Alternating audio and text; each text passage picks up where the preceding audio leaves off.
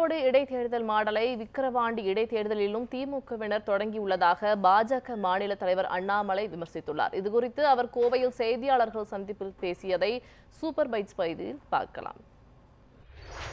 நான் இன்னைக்கு வந்து விக்கிரவாண்டி இடைத்தேர்தலை பொறுத்தவரை நீங்கள் பார்க்கலாம். இன்றைக்கி மூத்த திமுக அமைச்சர்கள் என்ன பண்ணிகிட்ருக்கிறாங்க அப்படின்னு. அதாவது ஆட்சியில் ஒரு கட்சி இருக்குது கிட்டத்தட்ட மூன்று ஆண்டுகள் முடித்து விட்டார்கள். அப்போ இடைத்தேர்தலில் ஜஸ்ட் லைக் தட் கண்ணை மூடிட்டு அவங்க ஜெயிக்கணும். இது திராவிட மாடல் ஆட்சி இது இப்படிப்பட்ட ஆட்சி அப்படிப்பட்ட ஆட்சின்னு அவங்க சொல்கிறாங்கன்னா கண்ணை மூடிட்டு ஜெயிக்கணும். ஆனால் ஒரு இடைத்தேர்தலுக்கு திமுகவோடு செய்கின்ற வேலை நீங்கள் பார்க்குறீங்க தெரு தெருவுக்கு திமுக காரங்க தெரு தெருவுக்கு அமைச்சர். இந்த ஈரோடு பை எலெக்ஷனுடைய மாடல் இப்போ ஆரம்பிச்சிட்டாங்க. கறி வாங்கி கொடு கோழி வாங்கி கொடு இங்கே வாங்கி கொடு அங்கே வாங்கி கொடுன்னு. அதனால் எங்களை பொறுத்தவரை விக்கிரவாண்டி இடைத்தேர்தலில் என்னதான் திமுக போட்டு இந்த வேலை செஞ்சு தமிழ்நாட்டில் இருக்கக்கூடிய எல்லா திமுக காரங்களும் அமைச்சாலும் கூட அந்த விக்கிரவாண்டி தேர்தலினுடைய ரிசல்ட் என்பது ஒரு பெரிய ஷாக்கிங்காக தானே இருக்கும்.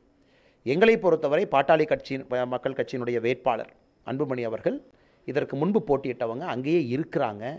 ஒரு எளிமையான மனிதர் தொடர்ந்து பணி செய்து கொண்டிருக்கின்றார்கள். நான்காம் தேதி நம்முடைய தேசிய ஜனநாயக கூட்டணியுடைய எல்லா தலைவர்களுமே விக்கிரவாண்டியில் பெரிய ஒரு பொதுக்கூட்டம் இருக்குது ஐந்து ஆறு நான் பிரச்சாரத்தில் அங்கே இருக்கேன். ஐந்தாம் தேதி முழு முழு நாளுமே விக்கிரவாண்டியில் பாரதிய ஜனதா கட்சி சார்பாக நம்முடைய பிரச்சாரம் இருக்குது எங்களுடைய தேர்தல் பணிக்குழு முழுமையாக அர்ப்பணித்து வேலை பார்த்துட்ருக்காங்க அதனால் இன்றைக்கி வந்து இவங்க நிலைமை எப்படி ஆகி போச்சுன்னா இவங்க ஓட்டை நம்பாமல் களத்தில் நிற்காத கட்சி ஓட்டை கூவி கூவி கேட்டுட்டு இருக்காங்க நீங்கள் கொடுங்க அப்படின்னு திமுகவும் வேறு கட்சியும் கேட்டுக்கொண்டிருக்கின்றார்கள்.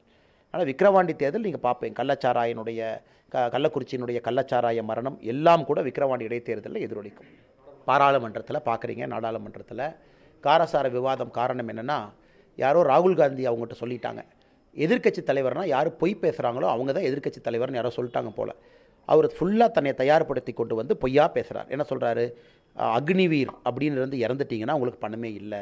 அக்னிவீரில் இறந்த குடும்பம் சொல்கிறாங்க ஒரு கோடியை பத்து லட்ச ரூபா கொடுத்துருக்குறாங்க. ராஜ்நாத் சிங் ராணுவத்துறை அமைச்சர் அவங்க சொல்கிறாங்க அதன் பிறகு ஹிந்து அப்படிங்கிற டெஃபினேஷனை புது டெஃபினேஷன் சொல்கிறாங்க பிஜேபியில் ஹிந்துவாக இருக்கிறவங்க ஹிந்து இல்லையாமா? இதெல்லாம் யார் சொல்கிறாங்க ராகுல் காந்தி அவர்கள்.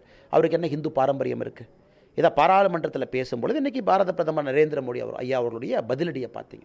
எவ்வளோ அற்புதமாக பேசினாங்க. எல்லாமே நீங்கள் பார்த்தீங்க. ராகுல் காந்தி அவர்களுக்கு அருமையாக சொன்னாங்க. நீங்கள் தொண்ணூற்றொம்பது வாங்கியிருக்கீங்க.